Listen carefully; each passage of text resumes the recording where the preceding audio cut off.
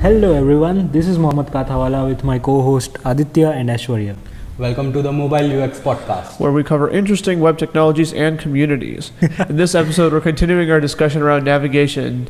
Uh, I wanted to get into the nitty gritties of what uh, JavaScript routers are, why they're important to our application, web applications, and also just take a quick dive into the Vue.js library router that we can use out of the box. Right. Um, so, to understand why we need routers, uh, I'm just going to quickly give a, a preface of preface of what uh, PWA and SPAs are that use these routers. So PWAs, as we've mentioned before, were created to kind of give higher quality experiences on the web. And pr- as progressive web app kind of entails in the name, uh, it kind of gives more app-like experiences. That means uh, the web these websites are no longer dependent on servers to create pages. Instead, they can Right. do a lot of this rendering and generation of pages on the client side, which leads to lower page load times, obviously, because you're just rendering, and then you also have smoother animations and stuff. So what happens in single page application is uh, we need router for uh, interacting with the URLs. Um, if our single page application is just based on single URL and uh, Java functions are doing and fetching logics and views for it, then uh, it's hard to manage anything with URLs. Like we can't save it, we can't uh, share the URLs or reload the page to get the exact view.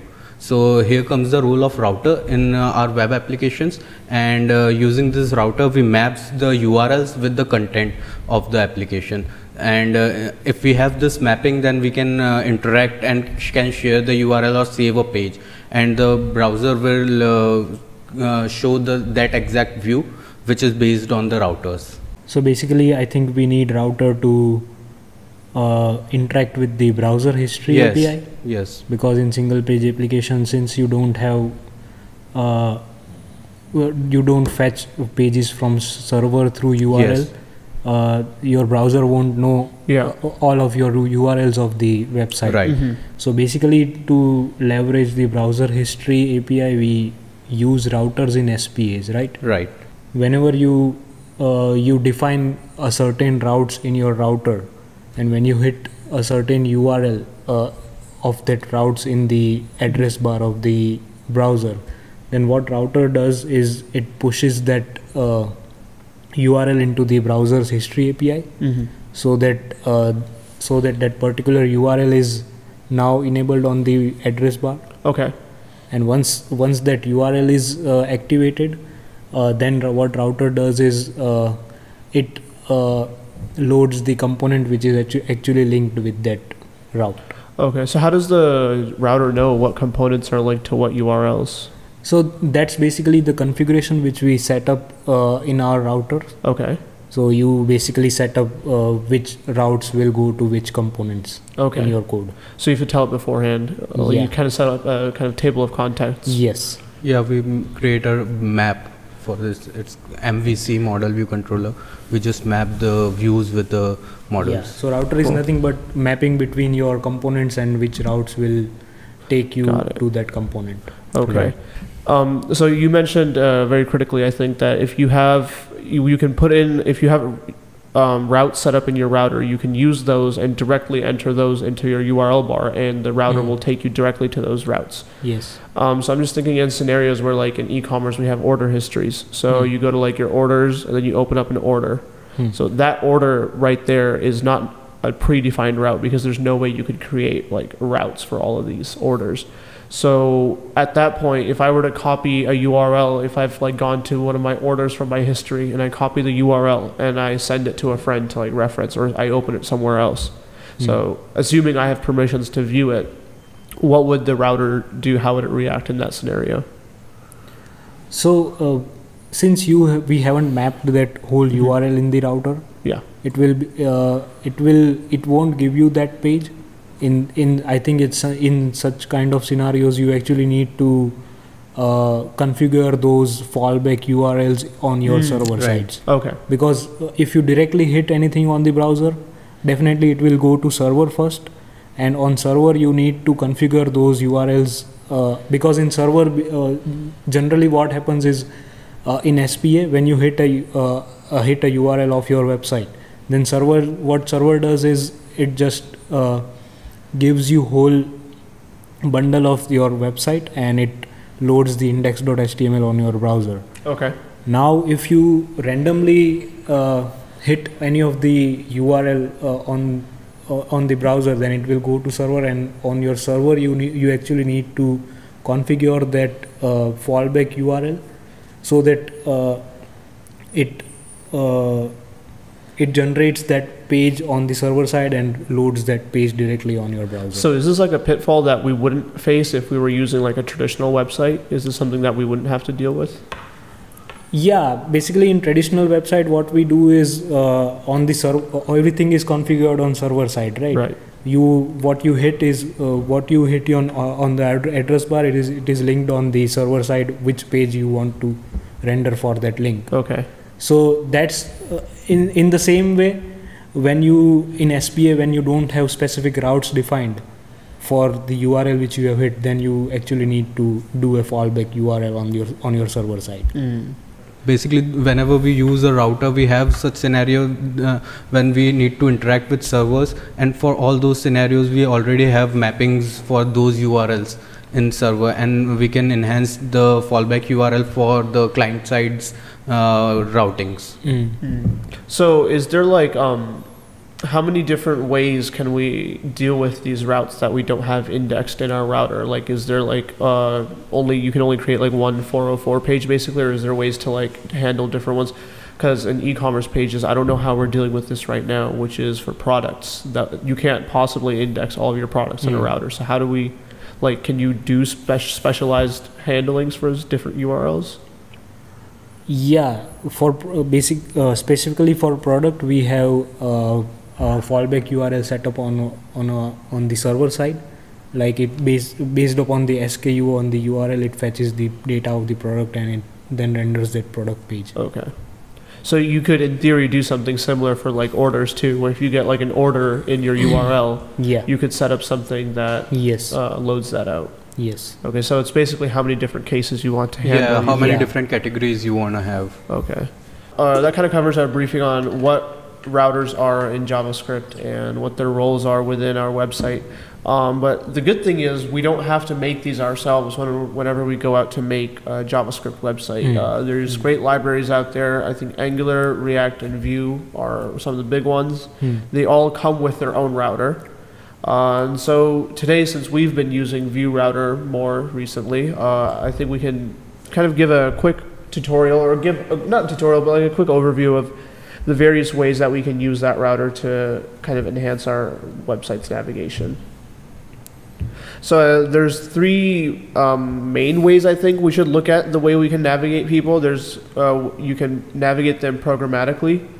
You can use nested navigation or routing, and there's also uh, ways to create dynamic routes or switch dynamic routes dynamically more properly. Programmatic navigation is uh, the one in which you logically uh, navigate your user through JavaScript code. Okay. right. Instead of user just uh, directly clicking on link and going through the navigation. So uh, uh, we can we can say it is a conditional or conditional type of navigation where you check some conditions and you decide where to navigate the user. Okay. so there are actually three ways you uh, in which you can do the programmatic navigation of user. Like first is the most common which is uh, router.push push push method. So router.push method uh, is not uh, generally works uh, the same uh, like the history api like uh, it works same when the user clicks on a link or you do the push right Mm-hmm. so what it does is when you uh, it navigates the user to the specified route and it actually stacks that route to the browser history API. Okay, so it doesn't like mess with the history in any way. It just adds one more step. Yes, yes. Okay. That's a, that's push and it is generally most used uh, method. It's the most traditional nav- kind most of- traditional kind of method to Yeah. to be used. Uh, another one is the router dot replace. Mm-hmm.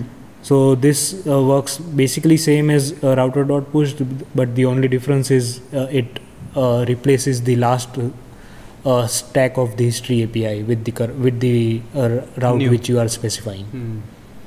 So it will replace the last uh, s- uh, route from the history API, and So it kind of takes the last place you were at and just changes it. Yeah, basically. So it like kind of that. wipes that out of the history. Uh, not the whole history, but the current That uh, one s- page that you were current at. top stack of the history. Mhm. Okay, so that last component that you were at, Yes. where you started the next step from. Um, so when would you want to use replace instead of push? I can't like. Is there any reason like you wouldn't want the user to like access their own history? Like I feel like that's kind of confusing from a navigation standpoint, right? Yeah, uh, maybe uh, in while logging in, uh, in a home page, user just logs, uh, clicks the login button, and uh, you shows a login page to the user. And if he successfully logs in, you want to show him the profile page. But if he w- uh, wants to go back, you don't want uh, him to go back to the login page, Right. and you want to uh, you want him to navigate to home page. Right. Uh, in similar sc- scenario, Which step in that whole process are uh, you when he is replacing? moving from login to user. okay, okay, so, So, when so he, he yeah, was I in think where login he, when page? Enters his credential and clicks on login, Mhm. Hmm. and you check uh, whether the credentials Right. are uh, correct, Hmm. and if it is, you navigate the user to profile page through replace. So this will replace the login, login. stack Mm. from the history API and Okay. uh, with the profile page. Okay. Hmm. Yeah, that would that would be weird if you logged in then you hit back and you just went back to the login page. That'd Right. be I think that is a good example. yeah. That makes sense. And then so then what is what are people using Go for? When are when are you jumping around history like that? Time travel.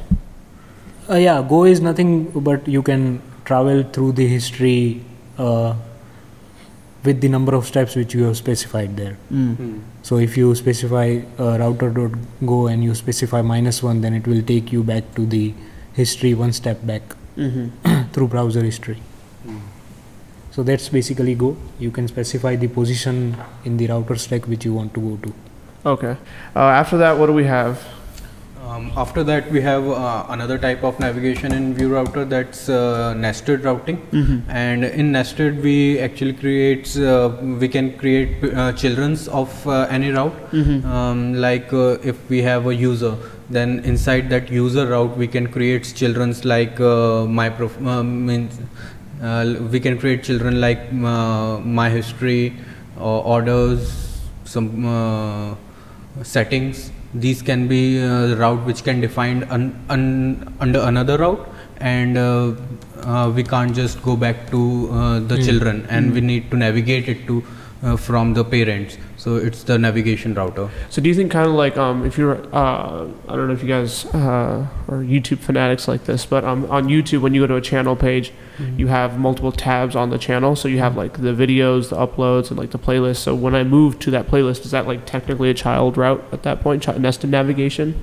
Uh, I'm not sure. I've, I haven't seen its URL, but uh, if the U, uh, URL is like uh, YouTube slash the uh, channel name and then about and then playlists and videos, then it's like the uh, nested route. Okay, so then you could use that if you wanted to like arriving at a certain component within that you want to save some changes Right. and use that in your URL, make that Mhm. like copy paste shareable. Yes. You would use nested navigation. yes, correct. Okay, so after after nested routing, we have dynamic routing. Mm-hmm. where we where we can s- uh, simply specify the dynamic params in the in your routes like suppose you have a user routes which shows the profile of the user then you can specify the uh, dynamic params in that route like user id with the colon so if you specify colon user id in that route then it will consider that that part as dynamic and uh, depending on what id you have sent in that route it will show the data of that user so it is uh, the same component same route but uh, it is dynamic for every user Uh, for every parameter. for every params. parameters. yeah so one of the advantage or thing to be noted here uh, in the dynamic route is it does not uh, create the component each time when the user navigates from one route to Mhm. another like another route like when the user navigates from user 1 to user 2 then it will use the same component and just update the data in it uh, instead of uh, destroying and creating the new component for it Be- uh, Because essentially Because- the user page is the same. It doesn't really yes change. so this will this is actually uh, effic- more efficient and uh, the uh, the different thing here is it will not since it is not recreating that component the all the life cycle hooks of Vue component won't uh, get called Right. here. So that Mm. is one thing which we need to handle when using the dynamic routes. Mm. So what do you mean lifecycle hooks won't be called? What does that mean? So like uh, whenever whenever a component is created and loaded, there are certain lifecycle hooks of Vue which gets called, and in those in those particular time you can do some of your uh, code logics. Okay, like so there is a mounted hook, there is a created hook. So created hook is basically when the component is created, and mounted hook is basically when the mount component is mounted on the DOM. Yes, Okay. right. So those are the base uh, certain time intervals Mhm. when or functions which we have in which you we c- you can do certain uh, coding. Okay, I think I've logic. seen something similar like that in Ionic. I think they're called uh, lifecycle events. They call them there. Here they call them hooks, Mm. and you can Yeah. listen to for them. Yes. and so Yes, like right. when Yes, the page correct. loads. Mm. Okay, yeah, I see. That's interesting. Um, so I bet you know what in Capybara, I think we're using. Uh, I bet they're using um, dynamic routing when you go from product page to product page Right. Yes. because they're not. Um, they, there's no point in reloading all the components. You just need to Mm. change out the data Right. between them. Mm. Yeah. So um, there's this really annoying thing. I don't know. Um, it's probably doesn't. It's probably related to dynamic routing, where sometimes um, image size gets messed up within uh, the glide Yes, JS yes. thing. Uh, so what happens in uh, that scenario is uh, uh, if we opens a page, uh, newly new page, uh, which has let's say four images uh, Mhm. for that product. Mm. Uh, so what happens is the DOM is created uh, for the four Im- images for in the carousel, Mhm. uh, and now when uh, uh, we dynamically navigate it to another product page, Mhm. uh, and now this product page has uh, let's say 10 images uh, so the DOM which is created for, uh, in, for the gallery uh, was created for four images and now Okay. the n- number of images have changed Mhm. so this is a little annoying thing there uh, which we want to fix and uh, Do you mean that uh, when we load in images into the carousel, Mhm. it's creating this um, flex box basically where Mhm. all the images Right. are lined up horizontally? Um, so if you have four images, it creates something that's uh, four images wide with the Right. dimensions that we give it. But since we're using dynamic routing and that Mhm. component isn't be- being reloaded, if we go to a, um, a product that has maybe like seven images, it's now trying to fit seven images into a space that's created for four full size Exactly. images. Right. So Yes. all of them shrink to fit into Mm. that. And then Mm. if we go to something that has two images, they all grow to fit into the four thing. right You know what? Um, I think maybe we could fix this by changing the grow and shrink properties of GlideJS, but GlideJS has proven to be a pain to edit and customize. Uh, yeah, on uh, for Capybara, uh, the GlideJS is not a direct dependency. Uh, the GlideJS is dependency of SFUI, Mhm. uh, which we use in uh, Capybara. So we cannot uh, directly play with uh, GlideJS functionalities. Mm. So uh, here we can use the before route update navigation guard to Mhm. fix this issue Mm. issue since the uh, lifecycle hooks are not getting called in these dynamic routing. Right. So can we use that to like target specific components within our big component and Yes. like reload those individually, even if we don't want to reload the whole component Yes. over again? Yes, it can be done at the component level. So at that point, we would Mm, tell GlideJS, hey, reload every time we dynamically change Right. the route. right. Seems like a pretty easy thing to do, or is it easier said than done? Uh, let's see. We uh, we should. We'll have try. to look at it Mm, we have to a look at bit, it. but yeah, this can be a solution. Good Mm. solution. Nice. Yeah, um, I'm just gonna quickly run through a quick demo here. So right here we have, uh, oh, it's already broken. How sweet. How is that even possible? What? okay, yeah, that's basically the issue right there. Um, in a space of about three images, we're trying to fit five images. And so now they're all smaller to fit within that. So we would here um, re, uh, reload this component, which would Mm. then resize to fit five images. Wonderful. Um, apart from that, is there anything we're missing out for um, how to use routing? Uh, we've been at this for a while now, um, talking about routes for very long. I think we have covered uh, Most of it. enough, Yeah. but yeah, still there are there are a lot of things in routing which which needs to be covered. But yeah, uh, for now for this episode, I think we are good. Routing is definitely like one of the great inventions of JavaScript Yeah. because it just uh, the possibilities it opens up for navigating and like this is just we we covered most of the functionalities that come with uh, out of the box libraries if you want to go crazy with it like i know ionic goes crazy with its routing and like its bottom navigation which we'll probably cover at some point Mm. it just goes all in so maybe we'll come back to this sometime soon think we're going to take a break, break from routing though at least a few episodes. Uh, and we'll see you guys soon in the next episode i guess. Bye bye